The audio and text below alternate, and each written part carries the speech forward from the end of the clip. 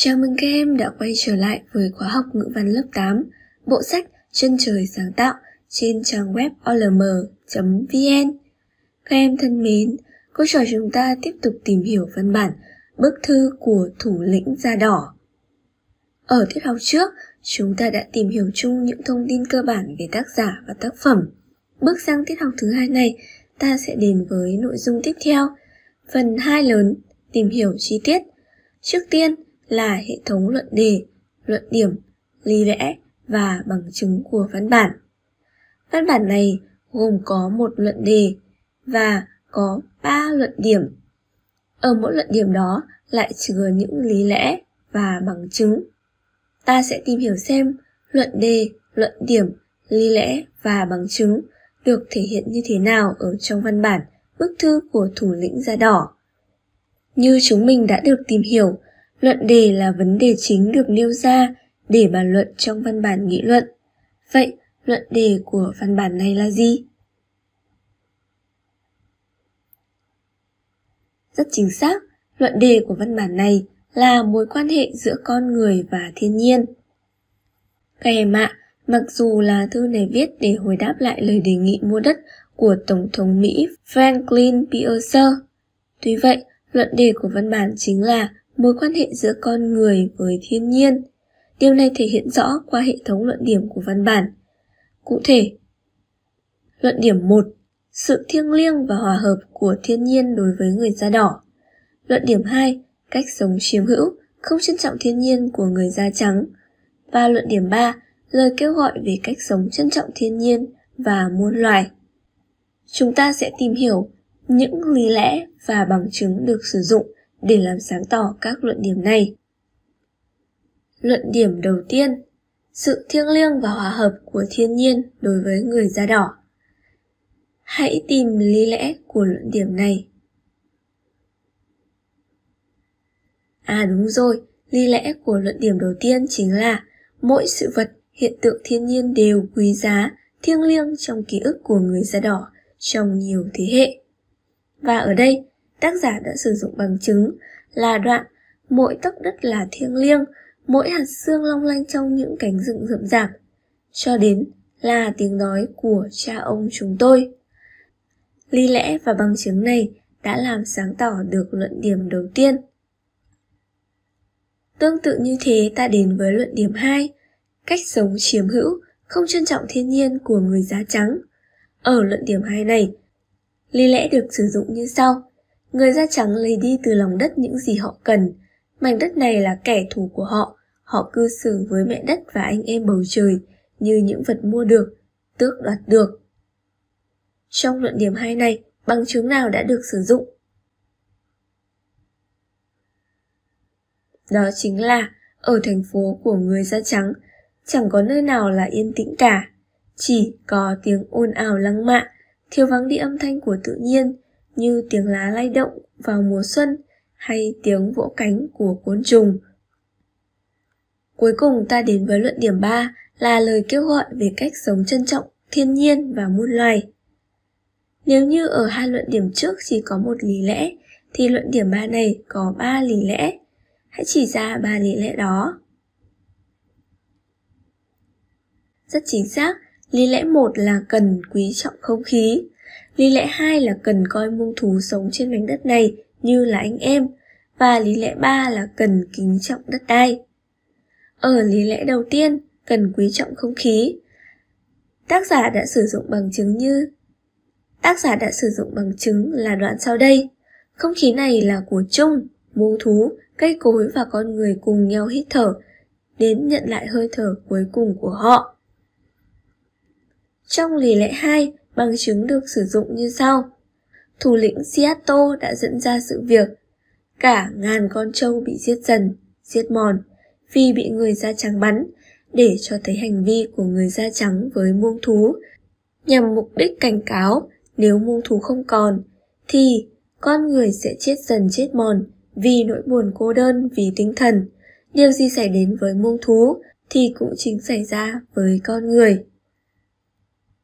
Và đây, ở lý lẽ 3, cần kính trọng đất đai, bằng chứng được sử dụng là đoạn từ mảnh đất dưới chân là những nắm cho tàn của cha ông chúng tôi. Đất đai giàu có được là do nhiều mạng sống chúng tôi bồi đắp nên. Điều gì xảy ra với đất đai, tức là xảy ra đối với những đứa con của đất. Như vậy, vừa rồi cô trò chúng ta đã tìm hiểu những luận đề, luận điểm, lý lẽ và bằng chứng đã được sử dụng ở trong văn bản. Ta sẽ tìm hiểu xem luận đề, luận điểm, lý lẽ và bằng chứng trong văn bản này có mối quan hệ như thế nào nhé. Trước tiên, những bằng chứng và lý lẽ đã làm sáng tỏ luận điểm. Tiếp theo, luận điểm 1 nhấn mạnh vai trò và sự thiêng liêng của thiên nhiên với người da đỏ. Luận điểm này đưa ra chính đề. Luận điểm 2 phê phán cách sống thiếu tôn trọng thiên nhiên, sở hữu và hủy hoại thiên nhiên của người da trắng. Luận điểm này đưa ra phản đề.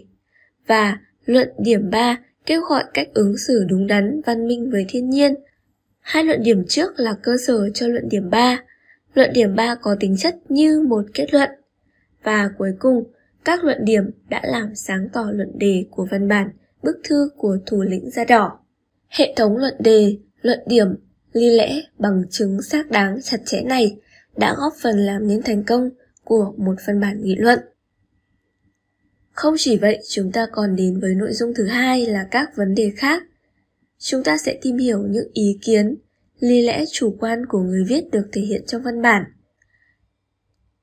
Chẳng hạn, đoạn sau đây chính là ý kiến và lý lẽ chủ quan của người viết. Tôi là kẻ hoang dã, tôi không hiểu bất cứ một cách sống nào khác.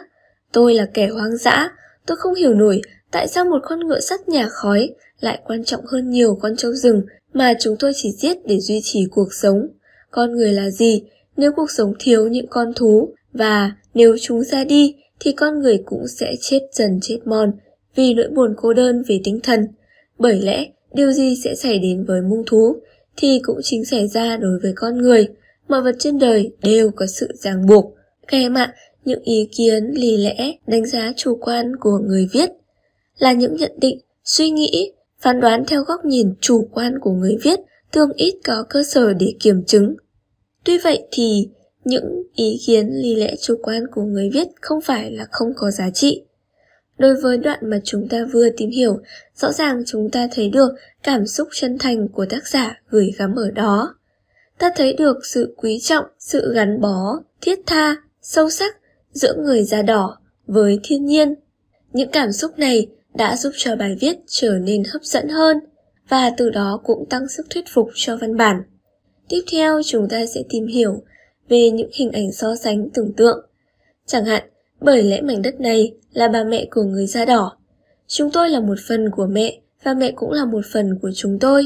Những bông hoa ngát hương là người chị, người em của chúng tôi. Những mỏm đá, những vũng nước trên đồng cỏ, hơi ấm của chú ngựa con và của gia đình. Và của con người, tất cả đều cùng chung một gia đình. Hãy cho cô biết những hình ảnh so sánh tưởng tượng này đã có tác dụng như thế nào về mặt nội dung. Tác giả đã rất khéo léo sử dụng những hình ảnh so sánh tưởng tượng trong văn bản. Những hình ảnh này đã khẳng định con người và thiên nhiên có mối quan hệ không thể tách rời, giống như các thành viên ở trong gia đình, thiên nhiên đã nuôi dưỡng, che chở và bảo vệ con người, và ngược lại, con người không được lãng quên thiên nhiên. Không chỉ vậy, cô còn muốn nhắc đến một đặc sắc nghệ thuật nữa trong văn bản này, đó là phép điệp qua những ví dụ sau đây. Như là điệp lại cách nói, tôi biết, tôi thật không hiểu nổi, tôi không hiểu bất cứ một cách sống nào khác. Nếu chúng tôi, ngài phải, tôi biết, người da trắng không hiểu cách sống của chúng tôi. Tôi biết cách sống của chúng tôi khác với cách sống của ngài. Rồi thì, tôi không hiểu bất cứ một cách sống nào khác. Tôi không hiểu nổi tại sao một con ngựa sắt nhà khói lại quan trọng hơn nhiều một con trâu rừng mà chúng tôi chỉ giết để duy trì cuộc sống. Nếu chúng tôi bán mảnh đất này cho ngài, ngài phải nhớ rằng, ngài phải dạy bảo con cháu rằng mảnh đất này thiêng liêng và những tia sáng trói trang phản chiếu từ mặt hồ trong vắt sẽ nói lên cái gì đó về ký ức của người da đỏ. Nếu chúng tôi bán cho ngài mảnh đất này, ngài phải nhớ rằng không khí đối với chúng tôi là vô cùng quý giá và phải chia sẻ linh hồn về tất cả cuộc sống mà không khí ban cho. Phép điệp đã phê phán cách đối xử với thiên nhiên của người da trắng. Đó là cách đối xử đã quay lưng, tàn phá môi trường trầm trọng để trục lợi cho bản thân. Đồng thời, nhấn mạnh quan điểm của tác giả về mối quan hệ giữa con người với thiên nhiên, đó là mối quan hệ gắn bó sâu sắc như những người thân ruột thịt ở trong gia đình. Các em thân mến, để kết thúc tiết học ngày hôm nay, ta sẽ đến với phần tổng kết những giá trị về nội dung và nghệ thuật. Về mặt nội dung, văn bản đã đặt ra một vấn đề có ý nghĩa toàn nhân loại, đó là con người phải sống hòa hợp với thiên nhiên, phải chăm lo bảo vệ thiên nhiên như bảo vệ mạng sống của chính mình. Về nghệ thuật, văn bản có hệ thống luận đề, luận điểm, lý lẽ và bằng chứng thuyết phục, giọng văn truyền cảm, chân thành, sử dụng những câu văn giàu hình ảnh, giàu tính liên tưởng, sử dụng phép điệp vừa tạo nhạc tính vừa mang âm hưởng hùng biện. Tiết học của chúng ta kết thúc tại đây. Cảm ơn các em vì đã quan tâm và theo dõi. Các em ạ, à, tài nguyên đã dần bị khai thác cạn kiệt, môi trường thiên nhiên đang bị ô nhiễm, bị tàn phá một cách trầm trọng. Đó là bối cảnh khiến cho bức thư của Seattle vốn xuất phát từ lòng yêu quê hương đất nước đã trở thành một trong những văn bản có giá trị nhất về thiên nhiên và môi trường. Hãy nâng cao ý thức bảo vệ thiên nhiên, bảo vệ môi trường, bởi vì đó chính là cách để ta bảo vệ lấy cuộc sống của chính mình. Hẹn gặp lại các em trong những tiết học sau trên olm.vn.